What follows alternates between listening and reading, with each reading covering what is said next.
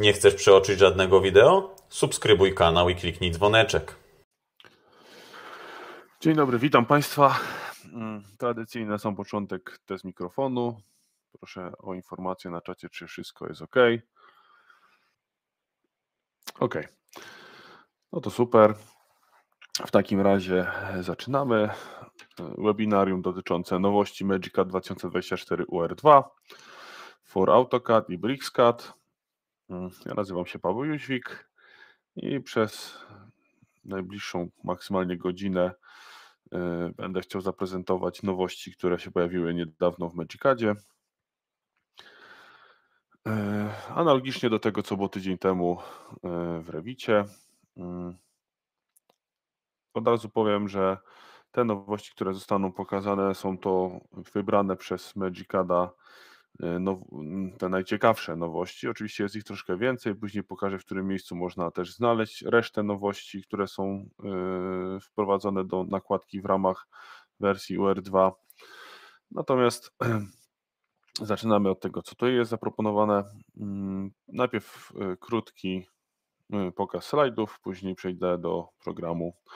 Będę pokazywał na wersji autokadowej, oczywiście analogicznie na BricsCADzie jest dokładnie ta sama funkcjonalność co AutoCADowa, więc y, nie będę tego duplikował. Pierwsza funkcjonalność z tych ciekawszych, które pojawiły się w Magicadzie UR2 2024 jest to możliwość rysowania szynoprzewodów i zarządzania tymi szynoprzewodami. Y, do tej pory nie było takiej możliwości, y, także to jest istotna funkcjonalność. E, to pokażę, e, gdzie ta funkcja znajduje się w zakładce Magicat Electrical. E, no i pokażę, jak można nią rysować i ewentualnie zarządzać. Druga funkcjonalność jest to obsługa systemów, systemów magistralnych. Można budować sobie za pomocą menadżera logikę magistrali to też pokażę, w którym miejscu ta funkcjonalność się znajduje. Bardzo fajna funkcjonalność. E, też to tyczy się oczywiście instalacji elektrycznych, mm, także tutaj będzie kilka takich e, funkcji na początku, które są do elektryki. E, możemy dzięki temu dokładnie posprawdzać, co jest podpięte do jakiego urządzenia, czy do jakiej centrali, tak, i sprawdzić, jaka jest główna trasa i ewentualnie ile ma e, metrów długości, czy tam milimetrów długości, w zależności od jednostki, jaką zastosujemy. Następna funkcja, e, grupowanie obiektów elektrycznych, też usprawnienie pewne e, pracy w Magicadzie Electricalu, na razie tylko w Electricalu, raczej nie ma tej funkcji, jeszcze sprawdzę, bo już nie pamiętam, ale raczej nie ma tej funkcji w innych branżach. E, to zaraz sobie to ustalimy. Natomiast w Magicadzie Electricalu została ona dodana, więc jest to pewne też usprawnienie, że możemy grupowo e, tworzyć sobie grupy i kopiować je, mm, używać wielokrotnie w projekcie. No to się przydaje akurat do łączników, gniazdek, kiedy mamy element jeden pod drugim i musimy sobie je przekopiować szybko z miejsca na miejsce, żeby nie wstawiać za każdym razem pojedynczych elementów. E, kolejna rzecz, również Magicad Electrical, e, możliwość wstawiania elementów na płaszczyznach pochyłych. E, też pokażę, w którym miejscu to się znajduje, jak można obracać elementami pod kątem. Mm, jest to też w sumie spore urozmaicenie. Do tej pory był z tym problem, żeby na przykład oprawy oświetleniowe rozmieszczać pod jakimś, przyczepiać ich do jakiejś pochyłej płaszczyzny. Także jak widzą Państwo na początku kilka funkcji elektrycznych, mocno się Magicat y, skupia na, tym, y, na tej wersji elektrycznej pod AutoCADem, y, więc ją mocno rozwija, więc tutaj jest najwięcej tych, tych funkcji, które się pojawiły w UR2. Teraz coś z wentylacji. Mm, do tej pory nie, nie można było tego robić. Od teraz jest już to możliwe, czyli tworzenie raportów, w których możemy sobie pokazać e, sumę przepływów w instalacji i możemy to zrobić masowo dla całego projektu, więc możemy sobie zrobić taki raport z wszystkich systemów, w których pokażemy sobie sumę przepływów. To pokażę, gdzie e, to poskładać, jak to zrobić, jak to w ogóle uruchomić. E, też przydatna rzecz, do tej pory było to problematyczne, natomiast było wykonalne, natomiast było to trudne do ogarnięcia. Teraz po prostu mamy funkcję, gdzie możemy sobie to wyciągnąć i wyrzucić albo do zewnętrznego pliku, albo e, wstawić to jako tabelkę do rysunku. Kolejna rzecz. E, dodawanie całkowite e, przepływy powietrza do tekstów rysunkowych. To jest już taka funkcja w sumie do etykietowania. Nic spektakularnego, bardziej usprawnienie funkcjonalności, która już była, że mamy te parametry, które możemy dodawać też do etykiet. Yy, bo skoro pojawiły się parametry do liczenia sum przepływów, no to mm, czemu nie można byłoby ich ewentualnie wstawić do etykiet, więc to jest tak naprawdę analogiczne z tym. Kolejna funkcja, która pojawiła się też w Rewicie, czyli zamykanie przepustnic w raporcie obliczeń. W momencie, kiedy zastosujemy przepustnicę i sobie ją zamkniemy, ona jest uwzględniana w projekcie jako klapa Y, zamknięta. Y, możemy sobie wtedy robić analizę dla fragmentów instalacji albo jakiś symulować jakieś bypassy, których normalnie nie da się w projekcie narysować, szczególnie w Revicie, bo w Magicadzie, na AutoCADa i Brixcada jeszcze to się da ogarnąć. Po prostu możemy sobie zablokować przepływ powietrza w jakimś kierunku i sprawdzić, co się stanie w wynikach. Następna funkcjonalność, e, zmiana rozmiarów belek i klimakonwektorów. E, do tej pory było to możliwe za pomocą funkcji e, Find and Replace. Było to trochę uciążliwe, natomiast teraz możemy zrobić to za pomocą Part Properties, zmienić typ występowania elementu. Ważna informacja, że ten element nie może być podłączony, więc po wstawieniu elementu można go jeszcze zmienić bez kasowania i wstawiania na nowo. Natomiast jeżeli element został już podłączony do instalacji, no to tak czy siak musimy zrobić funkcję find and replace. Takie małe usprawnienie, czasami bardzo przydatne w momencie, kiedy musimy sobie szybko rezerwować jakieś miejsce, mm, a używamy już urządzeń faktycznych, no to można szybko sobie je mm, pozmieniać, jeżeli chodzi o rozmiar. Kolejna rzecz, e, to też jest w sumie usprawnienie, które jest globalne dla wszystkich nakładek Magicada po wykonaniu obliczeń, mm, w tym przypadku ogrzewania i chłodzenia.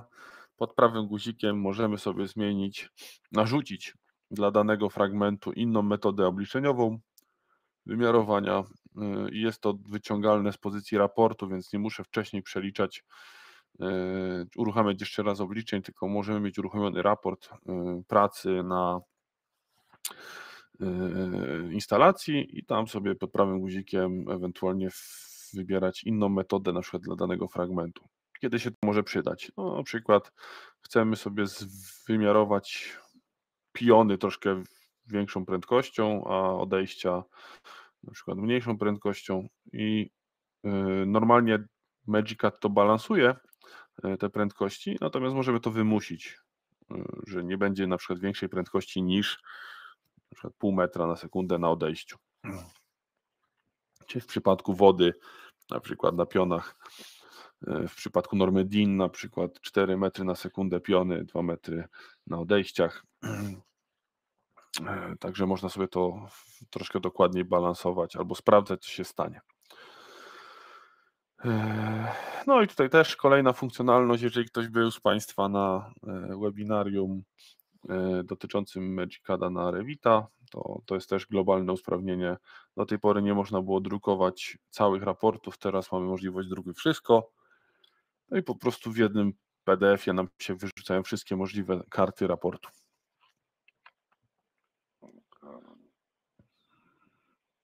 No i ostatnia rzecz, znowu dla elektryki, czyli szablony stron mm, specyficzne dla projektu elektrycznego i rysunków schematów możemy po prostu w ustawieniach projektu dodać szablony tabelek rysunkowych dla schematów. Możemy sobie edytować, tworzyć własne i podpinać, żeby były wykorzystywalne do pracy z projektem.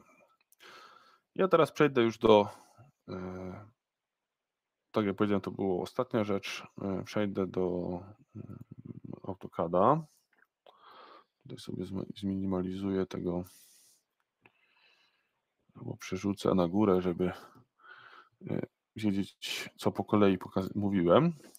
Także taki szybki PDF z funkcjami tymi najważniejszymi. Natomiast od razu powiem, że tych funkcji jest dużo, dużo więcej i w zależności od tego, którą zakładkę mamy uruchomioną, można sobie tutaj włączyć What is New i w What is New mamy trochę więcej tych opcji, bo są jeszcze Resolved Issues i New Issues, znaczy New Features. E, tutaj mamy rozpisane po prostu jeszcze inne funkcje, które coś, nie są jakieś spektakularne, czy tam inaczej Magicat e, nie e, troszkę mniej przywiązywał do nich wagi niż te, które wypisał na stronie głównej swojej, swojego produktu, na stronie magicat.com i tamtymi, które Wam się e, podałem, e, funkcjami się chwali. Natomiast tutaj są jeszcze jakieś inne obiekty, tak samo ventilation piping, jeżeli bym przeszedł sobie tu do new features e, UR2, no to tu mamy troszkę więcej jeszcze jakichś innych funkcji, które są jakimś tam drobnym usprawnieniem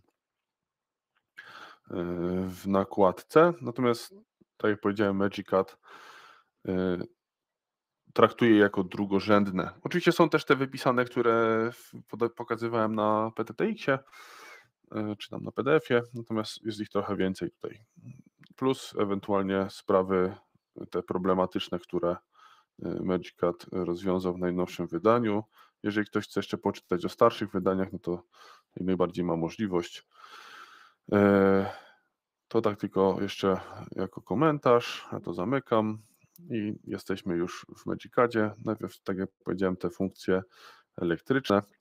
E, funkcjonalność rysowania e, przynoprzewodów pojawiła się tutaj, ona standardowo wygląda w ten sposób, że mamy tu wtyczkę elektryczną, jakiś kabel i możemy rysować przewody, pakiety. Natomiast od najnowszej wersji możemy rysować szynoprzewody. To w ogóle był problem w programach elektrycznych, że nie dało się rysować tych szynoprzewodów. Funkcjonalność jest bardzo prosta. Po prostu mamy bibliotekę, która jest wciągnięta do Magicada. Rysuje się analogicznie do wszystkich innych yy, bibliotek. Po prostu mamy spredefiniowaną yy, bibliotekę szynoprzewodów, która w sumie wygląda jak kanał wentylacyjny. Natomiast jest to istotne z punktu widzenia Y, elektryków, no bo jest, możemy za pomocą tego sobie już robić jakieś zestawienia. No oczywiście możemy tu jeszcze y, podłączać to mm, wirtualnie do y, central wentylacji, znaczy nie do central, tylko do szaf, a także zmieniać wielkości kształtek. Załóżmy, że teraz sobie skrócę te kształtki na tych konektorach.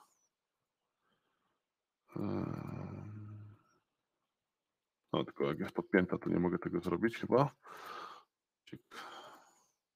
150 albo już jest krótka.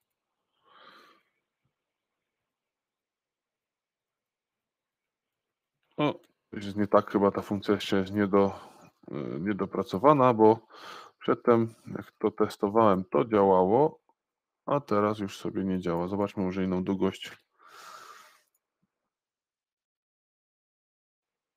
powinien skracać pojedynczo te kawałki.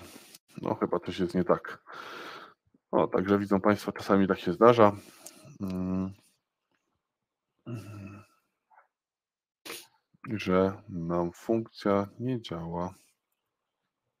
Po kliknięciu, no ta funkcja generalnie jak działa, to po kliknięciu w konektor y, ona się po prostu zmienia długość e, kształtki. Natomiast teraz jest jakiś problem, e, że nie wiem dlaczego nie chce zadziałać. Nie chcę w ogóle wybrać elementów. Jest jakiś problem. No dobra, no to to jest pewnie do dopracowania, muszę to zgłosić Magicadowi. E, kolejna rzecz to jest obsługa systemów magistralnych. E, ta funkcjonalność znajduje się w tym miejscu. Ona tutaj wcześniej była, natomiast dodano jeszcze po prostu e, dodatkową funkcjonalność Bus Connection, gdzie możemy sobie zbudować po prostu zestawienie tak jakby połączeń logicznych. Załóżmy, że stworzę sobie nowego hosta, który będzie się nazywał jako tak jak rozdzielnica, którą tutaj mam w tym projekcie, SB10 i teraz powiem, że to SB10 to jest o ta rozdzielnica. On sobie teraz ściągnie ten host. Już wie, że to jest ta rozdzielnica. Następnie, o to jest, e, tutaj dodam add circuit.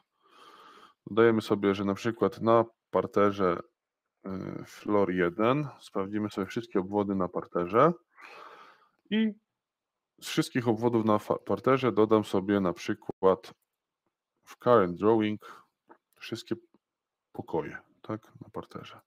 Niech mi wyliczy wszystkie pokoje i będę wiedział, jakie są obwody, w których pomieszczeniach są obwody. Daję OK i on sobie teraz leci e, po kolei po każdym pomieszczeniu i sprawdza, co było w, po, podłączone do, do tej szafy. Znalazł 67 podłączeń. Łącznie z, proszę zobaczyć, że oprócz pomieszczeń wypisał mi ładnie też e, elementy, które są podłączone. Oczywiście w tym projekcie ja teraz mam e, obciążenie zerowe, natomiast jakbym miał te wartości wypełnione, no to on by mi tutaj to wszystko wprowadził. Zliczył mi długość przewodów z całego obwodu na parterze, tak? Czyli 208, 218 tysięcy milimetrów ponad. 218 metrów. No i to jest właśnie takie narzędzie do zarządzania mm, elementami. Mogę tutaj sobie jeszcze warunki wprowadzić, jakie są maksymalne, e, ile jest maksymalnie elementów podłączonych na obwód, e, ile jest na przykład e, maksymalne obciążenie na obwód i tak dalej, i tak dalej. Więc to jest narzędzie dla elektryków znowu. Następnie E, grupowanie obiektów, też bardzo fajna funkcja. Mamy tu na przykład gniazdko i łącznik, tak? Tu jest łącznik, tu jest gniazdo. Ja mógłbym to oczywiście wstawiać za każdym razem pojedynczo, natomiast teraz w Magicadzie pojawiła nam się tutaj funkcja Create Group. Ja sobie powiem, że to i to to jest moja grupa. I załóżmy, że to jest zestaw łącznik plus gniazdo ustawienia jest w tym miejscu, direction w tą stronę. I teraz jakbym chciał sobie wstawiać tą grupę, no to mam mój zestaw włącznik plus gniazdo. Załóżmy, że sobie wstawię tutaj. E, sorry. Czułem się. O, tu. No czemu nie chcesz mi? O teraz, dobra. Coś nie łapał. E, jeżeli bym chciał zmienić direction, no to e, skróty direction. Mam direction i mam już drugą stronę. No i tak dalej, i tak dalej. No, snapy mam jakieś powłączone, dlatego tak świruję. Eee, co dalej? Mm, czyli to nam się zapisuje, to oczywiście w, w projekcie mam tutaj zbudowane. Mm, to były groups, object groups. Możemy sobie budować e, obiekty, grupy obiektów, które występują zawsze, na przykład razem, e, więc e, to troszkę usprawnia proces modelowania i projektowania. Mm. Co dalej? Następna funkcjonalność to było wstawianie czegoś pod kątem. Tak jak powiedziałem, jest to na razie funkcjonalność elektryczna. Załóżmy, że mamy oprawę oświetleniową i tutaj pojawił się taki fajny przycisk Change 3D e, Placement and Rotation i załóżmy, że zmienimy sobie kąt na 45 stopni dla oprawy. I teraz jak ją wstawię, na przykład tu, to proszę zobaczyć, że one się wstawiły pod kątem. Wcześniej to było niemożliwe do zrobienia, albo teraz mamy po prostu predefiniowaną funkcjonalność, która nam pozwala wstawiać elementy pod kątem. W ja sobie to przesunę trochę więcej, żeby było tego 3D.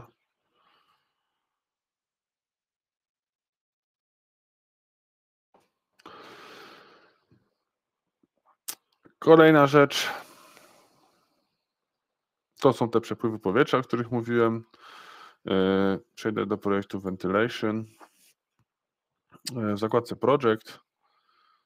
Sorry, jestem w zakładce Electrical. W zakładce Project. Mm, mamy tutaj na dole funkcję Report Templates. I ja mogę sobie stworzyć nowy raport, który będzie się nazywał na przykład Total Flow. E, I on będzie dotyczył kanałów wentylacyjnych, w ogóle wentylacji całej. Mm, wybierzmy sobie jakieś dane identyfikacyjne, na przykład, nie wiem, poziomy, stories. Niech będą poziomy. Przed stories name. No i teraz jeszcze załóżmy, że w system name, żeby wiedzieć jaki to jest system. Mm, a następnie na przykład calculations i tutaj mamy flow sum. No i mamy taki raporcik bardzo prosty, daj OK. Stworzyłem sobie tutaj ten mój e, nowy e, raport, szablon raportu. W zakładce Magic Adventation po prawej stronie mamy funkcję raport. Wybieram sobie mój template Total Flow. Załóżmy, że wybieram tylko blok w rysunku dla wentylacji. Dajemy OK. On teraz sobie to oblicza, czy tam ściąga z, z projektu. No, mogą sobie trochę większą ściągę wybrać, ale proszę zobaczyć, że mamy y, poziom, rodzaj systemu i suma przepływu. Mogłem ewentualnie jeszcze tutaj edytować, żeby jednostkę pokazywał, no ale generalnie mamy w projekcie akurat litry na sekundę, więc to jest suma w litrach na sekundę. Kwestia już tylko dostosowania wyglądu. Natomiast wcześniej to było trudne do zdobycia, teraz mamy po prostu to do wyciągnięcia w zestawieniu. No i analogicznie te parametry były też do, e, możliwe do wybierania e, w, w etykietach. Jeżeli byśmy wykonali obliczenia jakiejś instalacji, ja sobie teraz puszczę tutaj na przykład e, balancing, no niech będzie supply, show report i powinny być jakieś przepustnice. Hmm, są jakieś przepustnice w projekcie? Tab, tabel, lucer, band. Czyżby nie było żadnej przepustnicy w projekcie?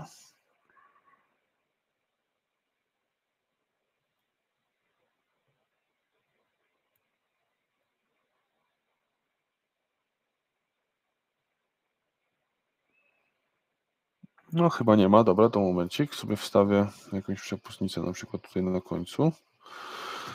E, komponent, flow damper.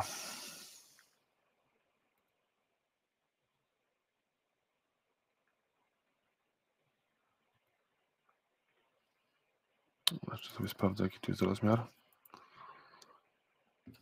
125.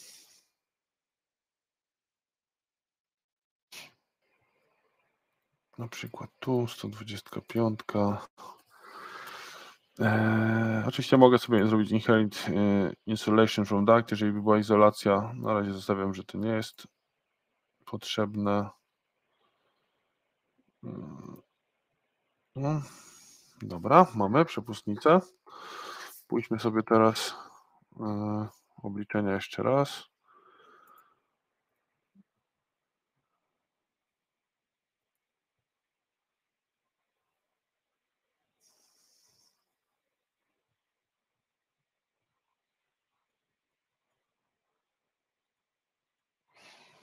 Mhm. No, co jest, powinno zadziałać. Czemu? No, przepraszam za szybko. Nie chcąc sobie przyzwyczajenie z Revita, kliknąłem Escape. Y, I mi się raport wyłączył. To będzie na końcu. Hmm.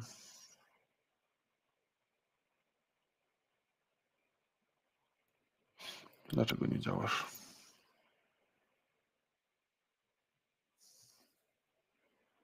No, nie chce ze mną współpracować. Chciałem sobie wyszukać element e, w projekcie, ale mi tutaj coś nie działa, więc muszę to zrobić ręcznie. Jest tutaj. No i po, pod prawym guzikiem w tym momencie ona jest zbalansowana, otwarta.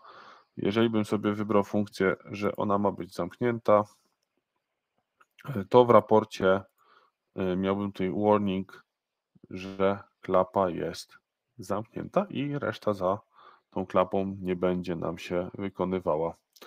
Tylko, że podczas e, balansowania ona, ja teraz nie mam wymuszonej tej funkcji, że jest zamknięta. Spróbujmy ją wymusić. To jest ten element. Spróbujmy tutaj. Mm, momencik. Logdp, tak? No i na przykład mogę sobie zablokować, że jest 00 i wtedy mam po prostu zablokowany, yy, zablokowaną przepustnicę. No dobra, co dalej? Yy, jeszcze w, tym, w tych obliczeniach Mm, w report, sorry, w technical, za szybko, sizing, sizingu, jeżeli bym puścił obliczenia sizing, to w raporcie mógłbym dla danych fragmentów zmieniać tutaj sizing methods i wybierać sobie ewentualnie inną metodę. Tak samo w wentylacji, jak i w instalacjach rurowych teraz ta funkcjonalność jest. Więc mogę sobie dla danych obszarów zmieniać. No i następna rzecz, tak w to, co mówiłem, czyli poza budyneczkiem, teraz pokażę. Jeżeli wstawimy sobie jakąś belkę albo klimakonwektor, załóżmy, że tutaj mamy jakąś belkę i ona będzie w jakimś tam systemie, w jakimś rozmiarze, załóżmy, że tak, to teraz nie muszę klikać Find and Replace i y, zmieniać całego podłączenia, bo tak jak powiedziałem, ta funkcjonalność nie działa z podłączeniami, tylko za pomocą funkcji Part Properties yy, mogę sobie tą, ten element tutaj zmienić na inny, na taki i on mi się zmienia. Czyli mogę szybciej pod Part Properties to wymieniać. To przydatna rzecz. Hmm.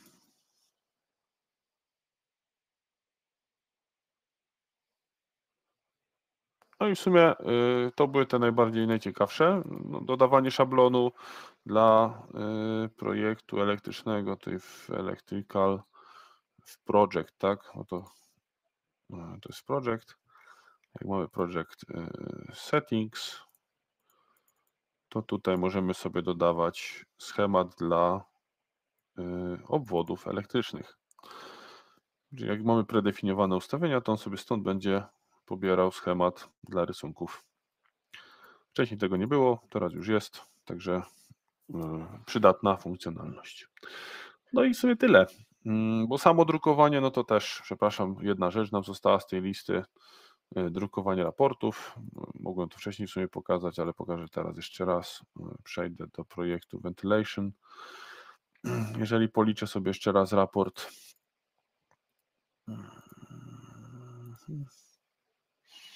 Balancing. Hmm. To mam tu funkcję print all. No i wtedy mogę wydrukować cały raport do. Y, co ciekawe, nie mam podglądu. No to jest dobre. Może to być problem z moją drukarką. Y, natomiast cały wydruk wszystkich stron razem z General Results po prostu by nam tu wyleciał. Taka funkcjonalność jeszcze została dodana. Na ten moment tyle. Dziękuję za uwagę i do usłyszenia. Nie chcesz przeoczyć żadnego wideo? Subskrybuj kanał i kliknij dzwoneczek.